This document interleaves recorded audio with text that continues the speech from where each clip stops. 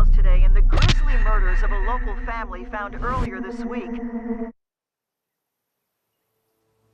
I didn't want to move here. We couldn't afford to live in the old house anymore. Plus, the new story I'm writing is here. Is the story a good one this time? I'm gonna write the best book that anybody's ever read. I got a really good feeling about this.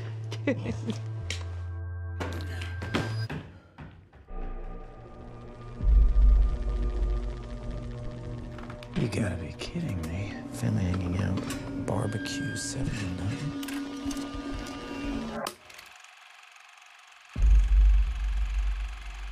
That's the family who lived here.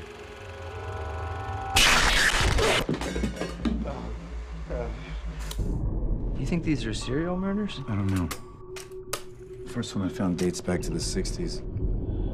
The only link between all these cases is the symbol.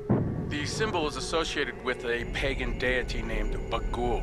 He consumes the souls of human children.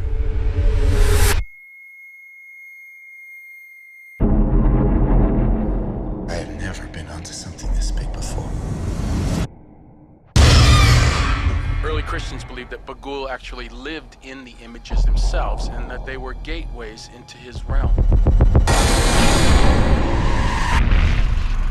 Children exposed to the images were especially vulnerable to Bughuul's abduction. Sweetheart, what are you doing? Painting. I wanted to paint her picture. Who are you talking about? Stephanie. She used to live here.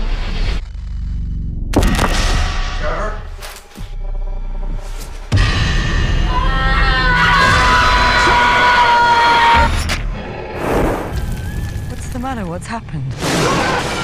Get the kids, pack the car. We have to leave here now. Ah!